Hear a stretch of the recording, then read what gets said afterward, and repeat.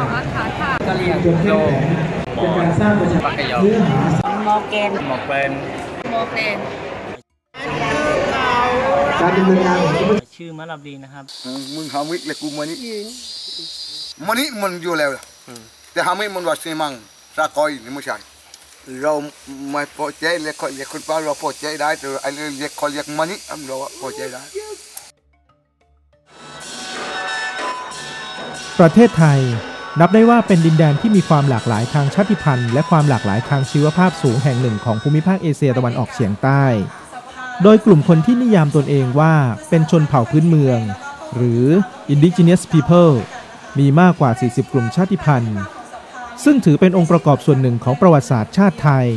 และมีความสำคัญยิ่งที่สะท้อนให้สังคมโลกได้เห็นว่า สังคมไทย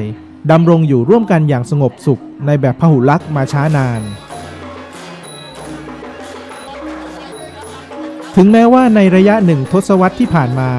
มีความพยายามขององค์กรและเครือข่ายชนเผ่าพื้นเมือง ร่วมกับหน่วยงานรัฐ และภาคีองค์กรพัฒนาเอกชนที่เกี่ยวข้อง ได้จัดกิจกรรมรณรงค์สาธารณะ เพื่อให้สังคมไทยและนานาชาติ ได้เรียนรู้ถึงความหลากหลายของวิถีวัฒนธรรมของชนเผ่าพื้นเมือง และรับรู้ถึงสังคมไทยแบบพหุลักษณ์ที่ผู้คนสามารถอยู่ร่วมกันได้อย่างสงบสุขมาโดยตลอด แต่เนื่องจากการจัดทำนโยบายและแผนพัฒนาของรัฐในอดีตที่ผ่านมา ยังไม่ครอบคลุมทุกมิติ ในพื้นที่ที่มีชนเผ่าพื้นเมืองอาศัยอยู่ และยังไม่มีนโยบายและมาตรการที่ชัดเจนเพื่อส่งเสริมและคุ้มครองสิทธิชนเผ่าพื้นเมืองในประเทศ จึงทำให้ขาดกระบวนการการมีส่วนร่วมของชนเผ่าพื้นเมือง และไม่สามารถแก้ไขปัญหาที่สอดคล้องกับวิถีวัฒนธรรมได้อย่างแท้จริง นับตั้งแต่ปฏิญญาสหประชาชาติว่าด้วยสิทธิชนเผ่าพื้นเมือง หรือ UNRIP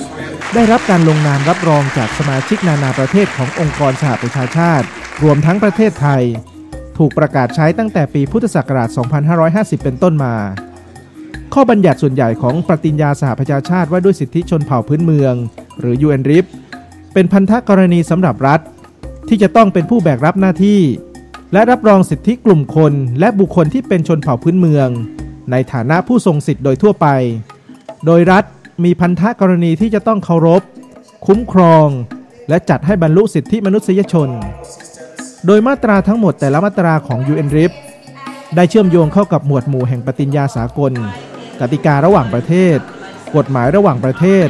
และอนุสัญญาอื่น ๆ ที่รับรองโดยสหประชาชาติ เพื่อกล่าวถึงสถานการณ์เฉพาะกลุ่มประชากร หรือเฉพาะประเด็นได้แก่ กติการะหว่างประเทศว่าด้วยสิทธิทางเศรษฐกิจ สังคม และวัฒนธรรม กติการะหว่างประเทศว่าด้วยสิทธิพลเมือง และสิทธิทางการเมือง และอนุสัญญาระหว่างประเทศว่าด้วยการขจัดการเลือกปฏิบัติทางเชื้อชาติทุกรูปแบบเป็นต้น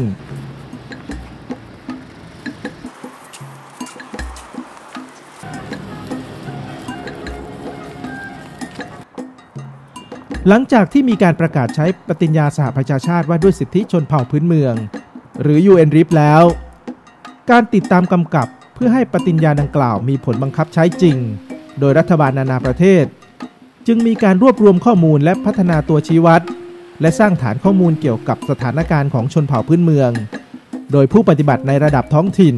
ระดับชาติ และระดับนานาชาติ เพื่อประเมินความก้าวหน้าในการดำเนินงานตามปฏิญญาสหประชาชาติว่าด้วยสิทธิชนเผ่าพื้นเมือง เป้าหมายในการประเมินและติดตามนี้ เพื่อที่จะพัฒนากรอบการประเมินผล บนฐานชุมชนที่ยืดหยุ่น ซึ่งจะช่วยให้ชุมชนชนเผ่าพื้นเมือง สามารถติดตาม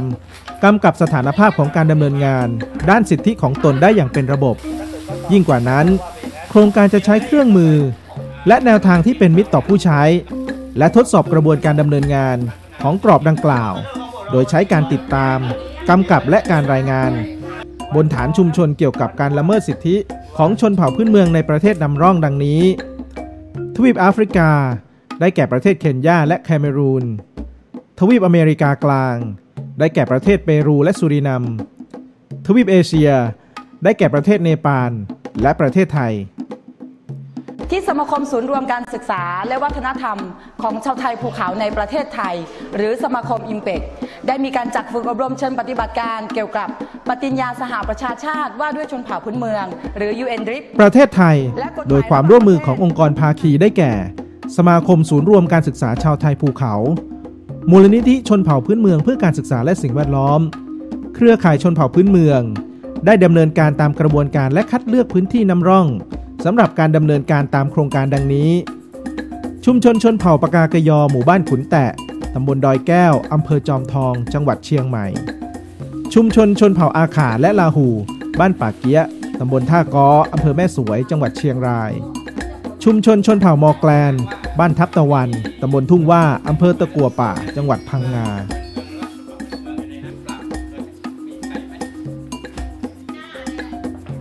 ผลที่ได้จากกระบวนการสอบถาม บันทึกและเก็บข้อมูล จะเป็นตัวชี้วัดโครงสร้างกระบวนการและผลลัพธ์ เพื่อสะท้อนการให้สัตยาบัน และการรับรองเครื่องมือทางกฎหมายและการมีอยู่ กับการสร้างสรรค์กลไกสถาบันพื้นฐาน ที่มีความจำเป็นสำหรับการส่งเสริม และคุ้มครองสิทธิมนุษยชน รวมทั้งสะท้อนให้เห็นการตรวจวัดความพยายามต่อเนื่องของผู้มีภาระหน้าที่ ที่จะแปลงรูปแบบพันธกรณีด้านสิทธิมนุษยชนของตนไปสู่ผลที่พึงปรารถนา ซึ่งต่างไปจากตัวชี้วัดเชิงโครงสร้าง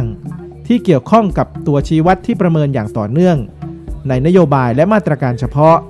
ที่ดำเนินการโดยผู้มีภาระหน้าที่ที่จะต้องดำเนินการตามพันธกรณีในระดับพื้นที่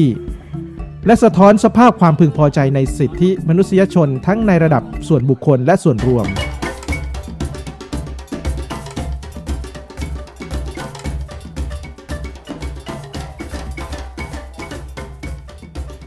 อย่างไรก็ตาม UNRIP มิได้เป็นเพียงกลไกเชิงสถาบันหนึ่งเดียวในการติดตาม กำกับ และการละเมิดสิทธิของชนเผ่าพื้นเมือง ที่มักจะไม่มีการรายงานหรือกล่าวถึงเลย เช่นเดียวกันในหลายประเทศ สถานการณ์ของชนเผ่าพื้นเมืองยังคงถูกซ่อนอยู่ภายใต้ค่าเฉลี่ยของชาติ และชนเผ่าพื้นเมืองมักจะถูกกันออกจากงานพัฒนาที่สำคัญ รวมทั้งบรรดาส่วนที่ถูกกำหนดขึ้น เพื่อบรรลุเป้าประสงค์ของการพัฒนาแห่งสหัสวรรษ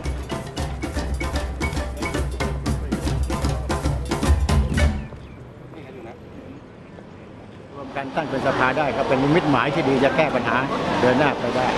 เพราะว่าชนเผ่าเป็นส่วนหนึ่งของประเทศไทย เป็นคนไทยส่วนหนึ่งที่สร้างประเทศไทยนี้มาการรวมตัวของคนที่สร้างประเทศไทยได้นี่ก็ถือว่าเป็นเป็นเป็นที่ที่ที่น่าดีใจวันนี้ก็ดีใจครับที่ได้ถูกเชิญมาคุยกันบ้าง จะได้ทราบรายละเอียดของปฏิญญาชนเผ่าของประเทศไทยนะฮะเพราะว่าเอ่อเจ้าหน้าที่ของบ้านเมืองเนี่ย ยังไม่ค่อยมองเห็นปฏิญญาอันนี้ เวลานี้เนี่ยทางรัฐบาลเนี่ยจะตอบรับสิ่งเหล่านี้ยังไงกันได้บ้าง เพราะฉะนั้นถ้าเผื่อว่าเจ้าหน้าที่ประพฤติปฏิบัติเอาไปดูแลก็จบเรื่องเราก็อยู่กับทุกชนเผ่าจะอยู่อย่างมีความสุขครับสภาชนเผ่าพื้นเมืองแห่งประเทศไทย สชพ เป็นผลมาจากกระบวนการรวมตัวเพื่อต่อสู้และเรียกร้องสิทธิภาคประชาชนที่เป็นชนเผ่าพื้นเมืองในประเทศไทย อันเป็นสิทธิขั้นพื้นฐานที่รับรองไว้โดยกฎหมายระหว่างประเทศว่าด้วยสิทธิมนุษยชน ปฏิญญาสหประชาชาติว่าด้วยสิทธิชนเผ่าพื้นเมือง UN ที่สมัชชาสหประชาชาติได้รับรองไว้ เมื่อวันที่ 13 กันยายน 2550 และประเทศไทยก็ได้ร่วมลงนามรับรองเช่นกัน ในโอกาสนี้ วันชนเผ่าพื้นเมืองสากล วันที่ 9 สิงหาคม สชพจึงขอเรียกร้องและเสนอดังนี้ 1. ให้รัฐบาลยอมรับและเคารพการมีตัวตนของชนเผ่าพื้นเมือง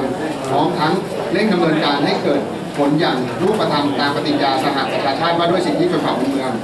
2. ให้รัฐบาลรับรองร่างพระราชบัญญัติสภาชนเผ่าพื้นเมืองแห่งประเทศไทย ที่สำนักงานคณะกรรมการปฏิรูปกฎหมายคปก ได้นำเสนอความเห็นและข้อเสนอแนะเมื่อวันที่ 7 สิงหาคม 2558 และนำเข้าสู่กระบวนการพิจารณาพระราชบัญญัติของสภานิติบัญญัติแห่งชาติเพื่อพิจารณาต่อไปครับก็ขอให้ทางคณะที่มาในวันนี้นะครับดำเนินการตามสิทธิของชนเผ่าทามที่ประกาศไว้ในปฏิญญาในสาหประชาชาติต่อไปนะครับ